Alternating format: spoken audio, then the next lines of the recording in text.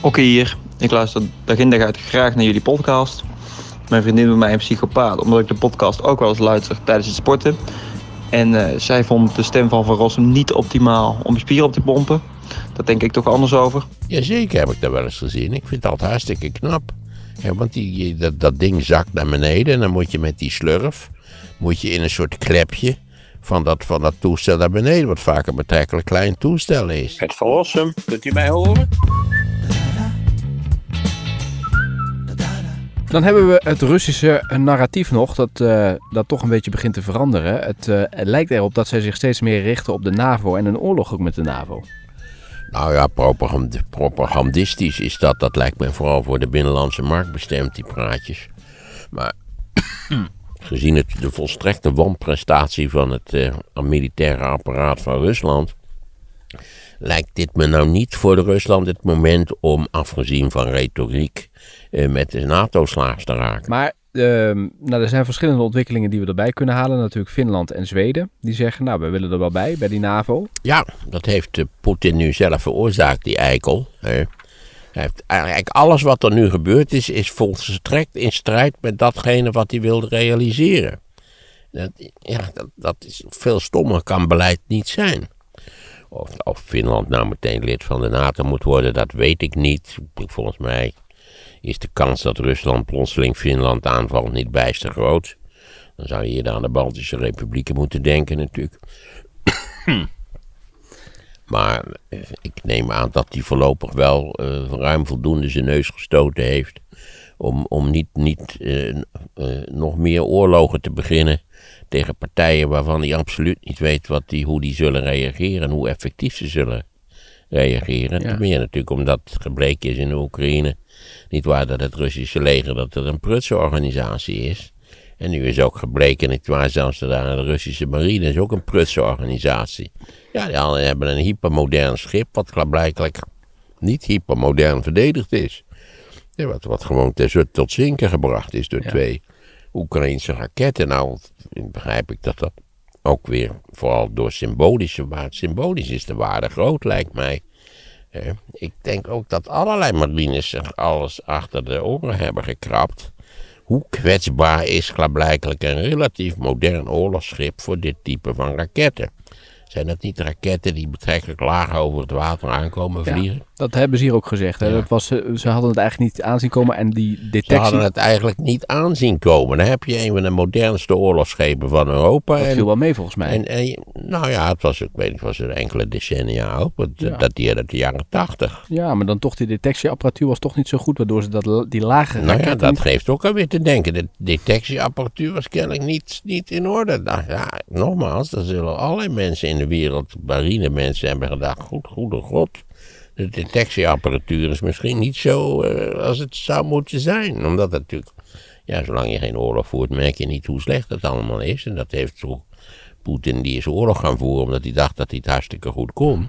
En dan blijkt dus toch, dat is weer zo'n generaal gesneuveld. En waar je ook denkt, is het nou zo dat die generaals zichtbaar in generaalsuniform aan het front staan, dat je dus denkt, laten we daar eens op schieten? Of sneuvelen er in feite zoveel Russen of raken zoveel Russen gewond in de strijd dat, dat zo'n generaal ook meegenomen wordt. Dat is ook al gek. En bovendien is eigenlijk gebleken dat die Oekraïners in feite door, eh, doordat ze in een onderges, hoe moet je dat zeggen, in een, in een betrekkelijk zwakke positie verkeren, nou juist het Russische leger op de meest effectieve wijze bestrijden. Namelijk dus door kleine eenheden te gebruiken met hele moderne wapens en tegen, tegen die trage grote eenheden van het Russische leger. Ik las een of ander stukje ook van een Amerikaanse generaal. Die zei van ja, dit is eigenlijk zoals je een, een, een, traditioneel denkend en opererend leger het beste kunt bestrijden. Eh, we moeten nu gaan afwachten hoe het, hoe het gaan, zal gaan. de Russen zijn nog steeds bezig met hergroeperen, heb ik begrepen. Neem dat Mariupol. hoe, hoe lang heb ik nu gelezen dat het morgen gaat vallen? Het is nu gevallen. Hè? Tenminste, dat zijn nou, de Ja, dat zeiden ze, maar daar is uh, volgens Zelensky niet. Nee, maar dat is natuurlijk, dat is natuurlijk de propaganda die heen en weer gevoerd Nou, dat weet ik niet. Ik ben in dit geval ben ik meer geneigd om de propaganda van de andere partij te wantrouwen. Hè, want ze verdedigden toch die staalfabriek. Ben je ooit in een staalfabriek geweest? Nou, ik wel. Nou, dat valt... eh, Als ik, als ik een plek zou moeten verzinnen om mij bij aan Loutrans te verdedigen, dan zou ik dat in een staalfabriek doen. Hoe komt dat? Nou, omdat het fantastische constructies zijn waar je echt, er- het is allemaal even solide en, en dik en, en, en, en krachtig uitgevoerd. En nou ja, als je dat handig verdedigt, dan is dat enorm moeilijk aan te pakken. Ja. Ga kijken, je hebt in, in Essen is zo'n zo'n staalfabriek die stilstaat en die gemonumentaliseerd is. Een koffieshop en ateliers voor modernistische kunstenaars. Je kent wel dat, dat werk. eh, maar die, het, het interessantste is de stilstaande staalfabriek. Ja. De wapens worden steeds zwaarder die naar eh, eh, eh, Oekraïne worden gestuurd. Ja, je begrijpt, die Russen hebben nu al een beetje een panisch telegram gestuurd tegen de, naar de Amerikanen dat ze ermee op moeten houden. Eh, dat mogen jullie niet doen. Ja, waarom eigenlijk niet? Waarom zou je die arme lui geen wapens mogen sturen? Ja, dus eh de, is wel Tot nu toe hebben de Oekraïners die wapens ongekend efficiënt gebruikt. Dat moet je zeggen. Weet niet precies wie daar de leiding heeft en, en, en wat, hoe, ze, hoe, heet het, eh, hoe ze opgeleid zijn. Maar ik heb begrepen dat er veel gedaan is aan de opleiding daar in de afgelopen jaren. En dan is er natuurlijk nog iets anders, wat denk ik toch een, prominente rol speelt. Dat is natuurlijk de, de enorm gedetailleerde informatie die ze waarschijnlijk krijgen van, eh, hoe heet het, de satellietsystemen van de Amerikanen, de Engelsen, ik weet niet precies. En de vliegtuigen. en de vliegtuigen, en precies. En dan is er nog een tweede informatiebron. Heel, de meeste Oekraïners hebben ook een mobiele telefoon. Dus als je dan nou uitlegt aan iedereen, kijk, zie je zo'n Russische tank rijden, of zie je dat er een paar bij elkaar staan, bel even op. Weet. Dus eigenlijk is de hele bevolking, doordat men uitgerust is met een communicatiesysteem, in staat om eh, te informeren over eventuele concentraties, eh, aanvallen die op, op het punt staan eh, uit, uitgevoerd te worden. Dat lijkt me ook ontzettend. Ja, ik had daar ook nooit aan gedacht dat je natuurlijk in zo'n geval als dit, dat je dat de hele bevolking eigenlijk in staat is om, en nou, wonderlijk genoeg, functioneren die, die mobiele telefoon, die functioneert nog steeds. Moderne oorlogsvoering is dat ook deels. Kortom, ook dit is weer moderne oorlogvoering op Ja. een hoog informatief niveau. Laten we eens even kijken naar de voertuigen die er ingezet worden. Australië die wil de Ja, panzervoertuigen dat zag, inzetten. zagen we er wel lekker uit, die ding, vond ja, ik. maar het duurde wat te lang voordat ze daar zijn. Dus nu wordt er een beroep gedaan op ons, op de Nederlanders. Oh, nou, ik zeggen, leven ze maar door. Ik De Bushmasters moeten wij gaan eh, leveren. Die hebben ook een Oeruzgan volgens mij gebruikt in eh, 2006. een- Dan hoop ik wel dat ze goed gerepareerd zijn. En als ze daar zelf naartoe gaan rijden, dan hoop ik dat ze niet ook in botsing komen met elkaar. Ja, dat heb Dat je is nou zo overtuigende demonstratie van de Nederlandse efficiency. Ja, wat vind je daarvan? Stieren we die paar Patriot. Dit was het toch ook wel een voorbereidende missie. Maar die is in Slowakije op elkaar gebotst. En Een kettingbotsing. De voorste Ja. moest ineens eh, remmen uit was het dat eh, vijf van de zes voertuigen moeten terug naar Nederland om gerepareerd te worden. Ja, het, je moet er toch onvermijdelijkerwijs om lachen, maar het is wel stom toch? Ondertussen worden er ook allemaal spotjes uitgezonden om maar het leger in te gaan in Nederland. Hè? Of bij Defensie te gaan werken. Dus hele mooie spotjes die dus inzetten op kameraadschap. Ik heb begrepen dat, het, zoals altijd bij dit soort van conflicten, dat er ook allerlei vrijwilligers toestromen uit allerlei landen. De vraag is alleen, ja, eh, zijn die geoefend? Ik heb dat vaker ook gezegd. Vechten is moeilijk, vechten moet je leren. Ja, maar het is gaat niet verder zo, dan Het is vechten. niet zo dat iedereen die in een geweer heeft, dat geeft dat die kan vechten. Nee, Nee. dat is niet zo. Maar het gaat ook om mensen die data gaan analyseren en dat soort dingen. Dus er komen allemaal Nou spotjes ja, niet op tv. Als mensen gebruikt worden met, met hele specialistische kennis, dan juich ik het van harte toe. Maar mensen die het gewoon fijn vinden om te gaan vechten, of die, die ontzettend meeleven met de Oekraïners en daarom willen gaan vechten, ik weet niet of je daar zo verschrikkelijk veel aan hebt. Het leek mij nog iets voor Siebert, om die met zo'n pakje daar naar de oostgrens Iets te voor sturen. Siebert, ja, dat zou kunnen, maar dan moet je hem wel uitleggen dat hij er een miljoen aan kan verdienen, anders Oh, ja. zal hij geen interesse hebben. Ja. En we hebben nu weer zo'n nieuwe Siewert, hè? dat is die Winston. Die met, eh, wat was het, Earth Today? Ja, dat kon ik helemaal niet volgen, want ik begreep niet wat het was, maar ik begreep dat het ook niet fatsoenlijk was. Toch? Moeilijke constructie in ieder geval. En Jan Terlouw, waar jij nog mee in een podcast hebt gezeten, die was daarvoor gebruikt, zeggen ze dan, om daar reclame voor te maken. Ach jee, ja, die, die heeft dan natuurlijk niet doorzien dat dit ook weer een kennelijk geraffineerd schema was waarbij de organisatoren daar zelf rijk Ja. aan werden. Het is heel ingewikkeld, maar het heeft met certificaten te maken die nu niks waard zijn, maar op termijn meer waard kunnen worden. En daar zouden die mensen dan geld aan verdienen. En dat zouden ze aan de voorkant niet hebben verteld. Dat is een beetje de kern van het verhaal. Ja, nou moet ik denken, je had in de tijd die Alp d'Huez toestanden, weet je Oh ja, wel. Dat is dan nog steeds, Dan moest je dan tegen die berg op fietsen en dan ben je met een of andere rijdsraadslachtige reden kwam dat ten goede aan de kankerbestrijding.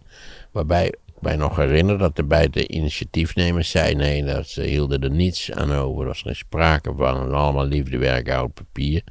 En tenslotte bleken ze er ook allebei vier ton eraan overgehouden te hebben. Waarop je ook denkt van, Ja.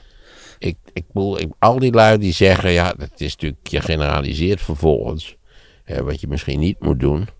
Maar ik zou zeggen, ik wil best geld cadeau geven, maar het moet gewoon een nuttige, bekende organisatie zijn. In de hoop dat die het op een verstandige manier besteedt. Greenpeace was Dus heel blij dat ze niet eh, zich eraan verbonden hadden, want die hadden al hun twijfels Ja, dus ik geef gewoon het geld eh, aan natuurmonumenten of de vogelbescherming of dingen, Ja. zulke dingen. Hey, maar nog even over die Bushmasters. Hè. Die hebben dus schijnbaar een V-vormige bodem die wij dus gaan sturen. En daardoor zijn ze bestand tegen bermbommen en ook tegen landmijnen. Daardoor zouden die dingen goed zijn. Ik hoop dat het zo is. Het was in Irak, zoals je weet, voor de Amerikanen een rampzalige toestand, die bermbom. Die Humvees die waren niet aan de onderkant gepantserd. Waardoor er massas mensen hun benen kwijtgeraakt zijn die in die Humvees rondreden. En tenslotte in een soort wanhoop. Van ja, want wat, hoe heet het? de Rumsfeld zei toch van ja, ja, god, ja, dat is heel vervelend. Maar ja, je, moet, je voert oorlog met de spullen die je hebt. Het is niet anders. Ja. Wat natuurlijk eigenlijk schandelijk was. Ja. En dat ze dus dan zelf op, uit eigen initiatief lasten ze dus metalen platen aan de onderkant van die Humvees vast. En hielp dat? Ja, waarschijnlijk wel wat. Dat je niet meteen je benen kwijt was. Nee. Daar hebben de Russen natuurlijk ook mee te maken gehad toen ze in Afghanistan. Nou ja, ook de bermbom was natuurlijk een. een eh, hè, dat is, was, was het eerste zes dat was puur amateuristisch. Dat bleek over, in heel Irak bleek volgepakt te zijn met, met explosieven. Dus daar had men gemakkelijk toegang toe. En dan werden ze dus met die telefoontjes, werden ze eh, met mobiele telefoontjes, Ja. werden ze tot ontploffing gebracht. Dus dan kun je gewoon wachten tot die. En dan bel je op of je drukt op een knopje. Ik, bedoel, ik weet niet precies hoe het werkt. Nou ja, dan is je kunt ze gewoon individueel opblazen. Ja. En dan vind, wat ik ook nog interessant vind is dat die Russische tanks, die hebben ook wat bedacht. Ik wist helemaal niet dat dat, dat het bestond. Keramische bepansering hebben die.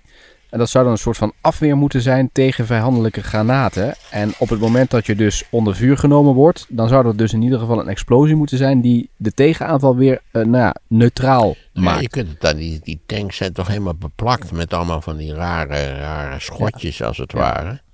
Waarbij je ook vraagt, wat is er dan mis met het oorspronkelijke ontwerp van dat ding? Hebben ze daar dan rekening mee gehouden? Hadden ze dat niet dat eh, die, die, die eh, beplating eh, sowieso bijvoorbeeld al van keramisch materiaal moeten maken? Uit, uit, dit, uit dit hele conflict stijgt toch op dat de tank enigszins, althans in zijn traditionele vorm, enigszins passé is. Extreem kwetsbaar. In dit geval, hè? Natuurlijk voor, voor draagbare wapens. Dat zijn al die blaaspijpen waarmee je die lui rond ziet lopen. Er zijn allerlei types van. Hele korte, hele korte afstand, middelen enzovoort enzovoort. Eh, maar ja, daar zijn die tanks kennelijk eh, toch ongelooflijk kwetsbaar voor. Ja, en ze zijn ook heel duur. En bovendien zijn tanks, maar dat wisten we al veel langer. Tanks zijn in een stedelijke omgeving onbruikbaar. Hmm. Ja, want dan, dan eh, ja, kun je wel een beetje be- begrijpen waarom. Wij denken natuurlijk aan, aan fijne tankoorlogen over grote vlaktes. Hè. Je ziet die Amerikaanse tanks door de Irakese woestijn razen. Dat is allemaal half hartstikke lollig. Maar in de stad heb je niks aan een tank. Nee. hè. En we hebben natuurlijk die, die, die, die zesdaagse oorlog. eh, ook heroïsering, dat wel. Maar de, de, de Israël, dat was natuurlijk ook het terrein waarbij de tank uitgesproken bruikbaar is. Ja. Nou, wat interessant is, is de kostprijs van die tank. Die hebben ze naast het wapen gezet waarmee die vernietigd kan worden door de uh, Ja, dat is zeker. Ik denk dat het 1 op 10 is, of, of minder, nog 1 op 100 of zo. Want kost een tank een miljoen? Nee, nee, nee, nee. Een tank kost, eh, kost zeker 2, 3, 4 miljoen. Ik weet het niet, maar die, die zijn prijzig, dat kan ik je verzekeren. En die wapens waarmee ze vernietigd worden, die zijn een paar duizend euro, Ja. wordt wel eens gezegd. Ja. Ja. Dan hebben we de NAVO nog, die hebben ook nog iets bedacht. Die, die tanken namelijk die vliegers, want ze zijn natuurlijk aan het oostfront de signalen aan het uitzenden van Russen, we zijn niet bang. Ze hebben ook in Leeuwarden volgens mij een oefening gedaan laatst. Hè? En ze hebben gezegd van we worden in de lucht bijgetankt, want dan kunnen we, uh, nou dat, dat, maakt het veel effectiever allemaal. Dus vanuit Eindhoven en Keulen stijgen onder andere die tankers ook op. Nou ja, dat doen we al heel lang.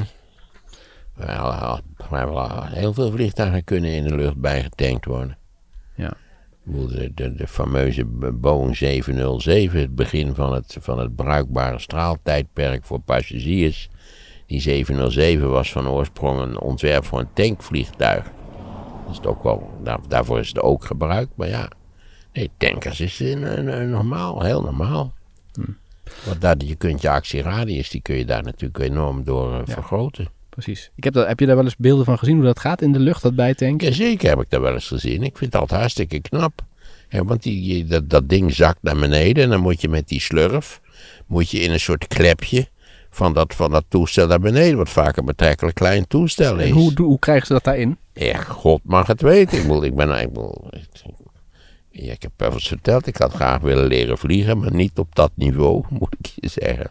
Maar eh, dat is er niet van gekomen. Nou, wel interessant om daar eens naar te kijken. De backfill. Maar er zijn, er zijn heel veel filmpjes van, dit, van deze procedure. Uh, Poetin maakt zich ook zorgen over de backfill van de NAVO. Hè? Dat dus vanuit Tsjechië oude tanks die nog in het uh, tijden van het Warschau-pact gebruikt worden, die gaan nu naar Oekraïne. En dat wordt dan bijgevuld vanuit Amerika of Duitsland. misschien had hij dat van tevoren moeten bedenken. Hè? Misschien had hij van tevoren moeten bedenken, misschien is het niet in drie dagen klaar. Hmm. Hè? Misschien zijn we niet zo ja, dit, dit is toch een leger wat dus in, in een, kennelijk in een bui van, van zelfoverschatting aan een klus begonnen is.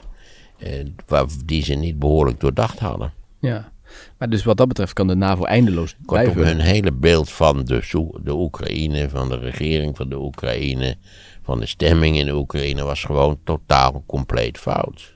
Ja.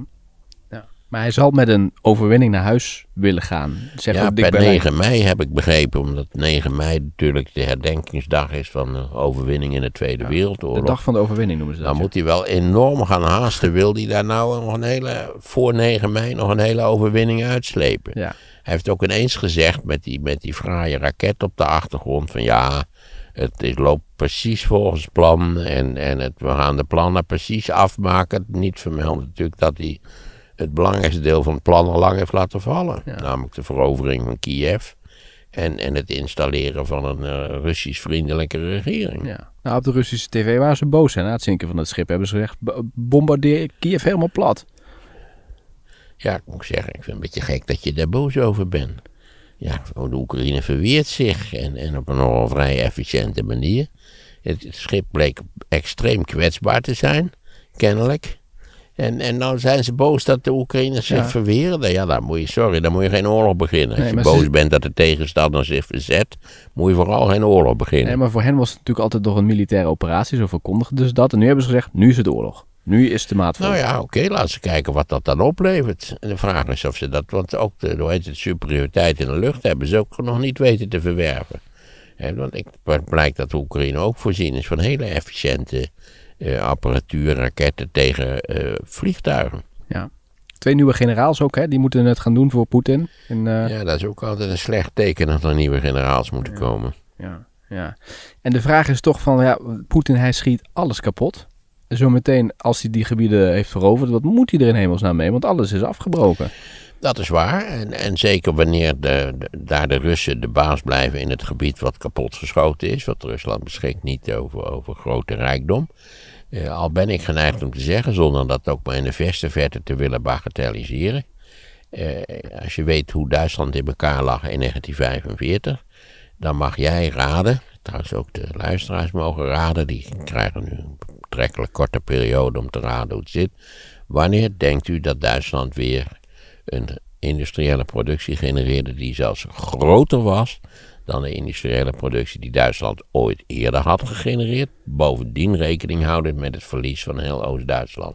Tellend vanaf 45. Ja, en vanaf 45 gerekend. In welk jaar was dat zo? Ja, ik zou niet. Betrekkelijk kort waarschijnlijk, maar ik zou. Ja, niet... dat is natuurlijk dat is inherent aan deze retorische vraag. In 55. Tien jaar later. Tien jaar later was de oorlogsschade grotendeels hersteld op dit punt. Ja. Niet overal, je zag in alle Duitse steden nog Ja. wel gaten zitten en zo. Maar kijk, als je er nu, wat, wat moest het kosten? Waren bij de Economist had berekeningen gemaakt over de herstelkosten. Eh, verschillende infrastructuur, eh, woningen, de hele zante kraam. En dat kwam, dacht ik, uit op, op eh, ongeveer 500 miljard nu. Misschien dat er nog wat meer schade wordt aangericht. Als wij, als wij bereid zijn te, te helpen en, en, en dat land slaagt erin om ook, ook de endemische corruptie enigszins effectief te bestrijden, zou dat in een, in, in een relatief korte periode zou dat, eh, opgeknapt kunnen Lees worden. wel de Oekraïnse gebieden, want die Russische gebieden, dat zal die Nee, zelf dat doen. niet. Dat, ten eerste zullen de Russen daar niet hard voor lopen, denk ik zelf. Evenmin hebben ze dat gedaan voor die flutrepubliekjes die ze natuurlijk in 2014 hadden. Wel belangrijke gebieden daar, hè, aan die zee. Nou, alleen, alleen de zeegebieden zijn belangrijk. Maar, maar ja, ik zou zeggen, zolang Odessa vrij blijft. eh, al was Mariupol, begreep ik, een grote haven met een relatief grote stad. Twee keer zo groot als Utrecht of zo. Eh, ja, ik, ik denk, je denkt altijd maar in welke maat moet dit uit, ongeveer uitgevoerd worden. Dat kan zijn, maar eh, ja, Rusland heeft, eh, loopt nu natuurlijk ook tegen hele hoge kosten op. Gelukkig voor Rusland betalen wij eigenlijk de oorlog. Ja, een miljard per dag. Ja. ja, dat is natuurlijk een vrij trieste conclusie. Zeiden we niet al vorige keer, dat is onze eigen schuld. Ja, dat gaan we nu wel dan- afbouwen, Je moet, je moet van de Amerikanen kun je ontzettend veel kwaad spreken. En ik doe het graag, zoals je weet. Maar feit is dat ze eindeloos jarenlang gezegd hebben... zorg nou dat je niet afhankelijk bent van Rusland... in een zo eh, essentieel strategische regio als dit. Ja. Ja. Daar hadden ze natuurlijk, hebben ze achteraf gezien groot gelijk in gehad. Maar we gaan het nu wel En afbouwen de de, komende Duitsers dus niet. Ja, die zijn ja voorzichtig en valt Ja. wel mee en ja, enzovoort. Waar bouwt eh, de Poetin eigenlijk zijn tanks? Want hij zal dat, al die tanks die vernietigd zijn, zal die toch ook wel... ehm, In de oorlog werden ze in Kharkov gebouwd. En toen is Kharkov natuurlijk onder de voet gelopen door de Duitsers. En dat is een van de meest fenomenale prestaties organisatorisch ooit geleverd. De hele Duitse, de hele Russische tankproductie in Kharkov is met machines en al en deskundig personeel is verplaatst naar een, of andere locatie achter de Oeral. De, de Russen hebben bij, ja, bij het oprukken van de Weermacht in Rusland echt duizenden bedrijven in een enorm tempo geëvacueerd. En ik dacht dat die tankfabriek in Kharkov, tegenwoordig moet je nog Kharkiv zeggen, maar goed, in Kharkov, dat die drie weken na dato, na de start van de verhuizing, weer begon te draaien. En De, de, de, de tankproductie van de Sovjet-Unie in de Tweede Wereldoorlog was ronduit indrukwekkend. Veel groter dan de Duitse tankproductie. Die Duitse tanks waren wel beter in principe, behalve misschien de T-34 was wel een heel uitzonderlijk effectieve tank. Maar eh, ja, eh, ze bouwden tienduizenden van die dingen en eh, de Duitsers veel minder. ja. Maar nu heeft hij natuurlijk wel het hele, de hele wereld bijna tegen zich. Hè? Dus waar haalt hij al zijn spullen vandaan om dat te bouwen? Ja, ik, misschien heeft hij ook wel problemen met grondstoffen en zo. Ik begrijp dat er nu al, al chips tekorten, want je begrijpt ook in zo'n tank, zo'n moderne tank, zullen ook wel allerlei chips zitten. Mag je aannemen. Dus dat zou best kunnen zijn dat hij daar ook in de problemen raakt. Want er zoveel, ontzettend veel materiaal al vernietigd is. Ja. Want dat, wat, dat, dat had die economist ook lijstjes van. Nou, dat was geen kattenpis, hè, wat er al verloren is gegaan. Zit jij trouwens op de lijn van Sofie in het veld van D66, die eigenlijk zegt laten we Oekraïne maar bij de EU halen, want dan kunnen ze al die zaken, hè, al die voorwaarden waar ze nog niet aan voldoen, bijvoorbeeld die corruptie en die zwakke rechtsstaat, dat kunnen ze dan beter in de Unie doen dan daarbuiten. Ja, ik ben gezien de omstandigheden en, en eh, de strategische situatie die ontstaan is. eh, Die in feite toch grotendeels de schuld is van Poetin, laten we wel wezen. Of van Rusland, zou je, hoe, het is maar hoe je het wil noemen. Eh, ben ik er erg voor om, om wel een voorsta ben ik voorstander van het versnellen van het traject. Zelfs bij versnelling van het traject gaat het nog enige tijd duren. Maar dat gezeik wat bij van Rutte, nee, daar kunnen we voorlopig niet aan beginnen. Dat willen we niet en zo. Ruben Brekelman zei dat nu ook weer. Wie? Ja, die is van de VVD, dus die herhaalde eigenlijk... Ja, ongetwijfeld, want die, die, die, die denken meteen, oh god, dat gaat geld kosten. Oh jeetje, oh jeetje, dat gaat geld kosten. Iemand rekent uit wat het kost en die zegt dan in de verkiezingscampagne, nou, dat gaat geld kosten. We zijn allemaal enorm, zijn we op handen van de Oekraïne. Maar het moet vooral niet te veel geld kosten. Dat is toch wel een beetje de Opmerkelijk teneur. is dat, hè? Ja. Ik vind dat, eh, nee, ik ben ervoor om het te versnellen, het proces. ja, er wordt ook wel Sterker nog, zou het ook aan Wit-Rusland aanbieden. Die willen wel niet, maar dat, dat, je, dat je het gebaar vastgemaakt hebt. Ja. 26 ja, de bevolking daar zal het wel willen, alleen die Lukashenko... Zeker, die wil wel. Ja. Die zal, dat zal extra stimuleren. Ja. In 86 hebben Spanje en Portugal in principe hetzelfde gedaan. Hè? Die hadden net de dictatuur omvergeworpen en toen zijn ze ook versneld zijn ze toegelaten om alle zaken die niet Ah. klopten te fixen. Ja, kennelijk kan dat dus. En ze hebben er, zeker Spanje en Portugal hebben er wel bij gevaren. Ja. Alleen moet je natuurlijk in Oekraïne doen. Vrijwel iedereen die lid wordt, wordt vervaard. Denk, denk aan Polen. Polen heeft eh, volgens mij zijn bruto product verdriedubbeld in een, in een relatief korte periode. Ja. Ja. ja, je moet natuurlijk de corruptie daar in Oekraïne, die moet je aanpakken. Eh, De zwakke Ja, economie. dat spreekt voor zich. Er zal iets aan gedaan worden. Dus, maar goed, dat, dat, eh, ja, ik zou ze zeker uitzicht bieden op. Ja. En ehm, vind jij dat in ieder geval als we straks de... Stel dat Oekraïne wint, vind je dan ook dat Georgië en de Krim dat dat ook rechtgezet opnieuw moet worden? Dat we daar eh, de Russen moeten verdrijven? Nee, dat zou ik niet doen. Hm. Ten eerste die Krim toch wel een heel dubieus gedoe, omdat die Krim eh, altijd bij Rusland heeft gehoord. En bovendien, naar ik begreep, eh, door Khrushchev als een soort van symbolisch geschenk. Ik geloof ergens in begin jaren 50 aangeboden is aan de Oekraïne. Maar omdat de Oekraïne zo geleden had tijdens de Tweede Wereldoorlog. Maar laten we nou niet op het, op het allerscherpst van de snede opereren. Laten we gewoon zeggen, oké, je kunt die, eh, wat mij betreft, ik heb het al eens eerder gezegd, kun die Donbass-regio kun je houden. En desnoods ook de Krim, maar ook niet meer dan dat. En nou goed, dan, omdat de, de Oekraïne zijn ze al kwijt. De Oekraïne zijn ze kwijt.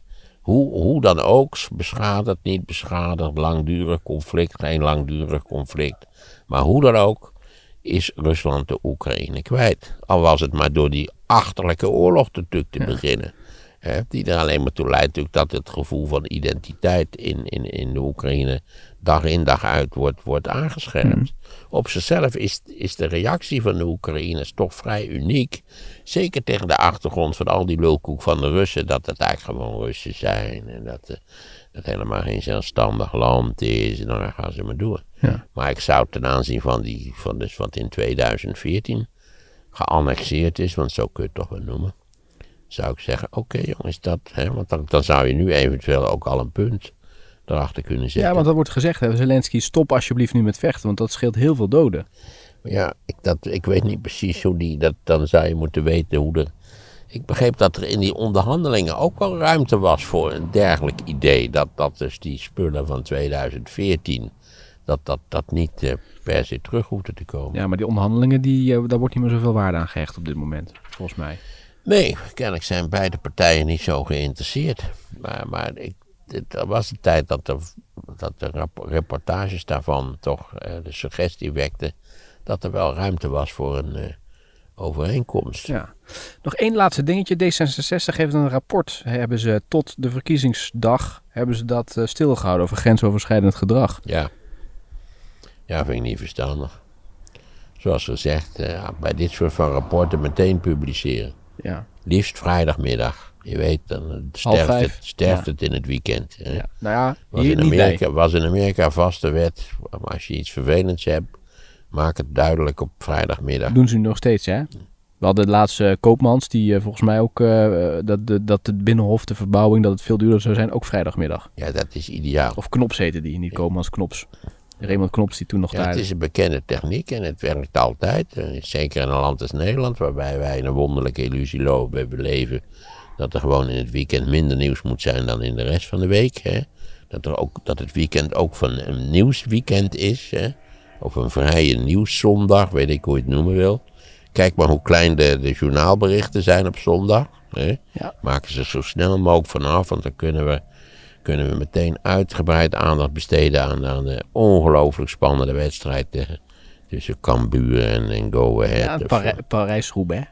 nou ja, dat, dat, dat heeft nog wel een soort renommee. Hè? Alleen al het woord Parijs-Roubaix, dat is toch met die, met die wielerbaan en zo. En de kasseien. En, eh, hoe heet Henny Kuiper, voordat je het weet, eh, ben je toch alweer een Nederlands sprookjesland. Ja. Maar de kritiek hierop is natuurlijk, D66 wijst altijd met het vingertje naar anderen. Ja. En nu zijn ze een keer zelf aan de Ja, beurt. maar die weet hoe dat in de wereld in elkaar zit.